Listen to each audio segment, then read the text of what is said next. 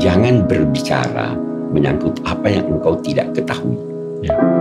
Jangan semua yang engkau ketahui kamu bicarakan. Nah, jika ada orang lain yang bisa berbicara, diamlah. Karena kalau dia benar dan engkau hadir di situ, engkau akan dinilai setuju pendapatnya. Ya. Tapi kalau dia salah, kesalahannya hanya tertuju pada dia. Anda tidak salah. Jadi batasi pembicaraan. Ya. Nah kita di sosmed ini segalanya diungkap.